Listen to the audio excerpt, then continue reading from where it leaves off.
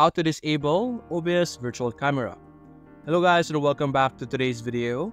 In today's video, we will be teaching you how you could remove or disable the OBS virtual camera from your OBS studio.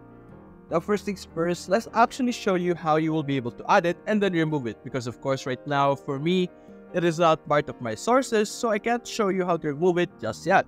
So let's add it. Simply click on the plus, click on video capture device over here and click on OK. After that, click on the device, OBS virtual camera, click on OK, and now over here, this is our OBS virtual camera as you can see here on our screen. Now to be able to disable this, simply click on the eye icon over here under sources and it will hide the OBS virtual camera. And if you want to actually remove it or like permanently disable it, simply click on the delete icon over here click on yes, and you will be able to remove the virtual camera from your OBS.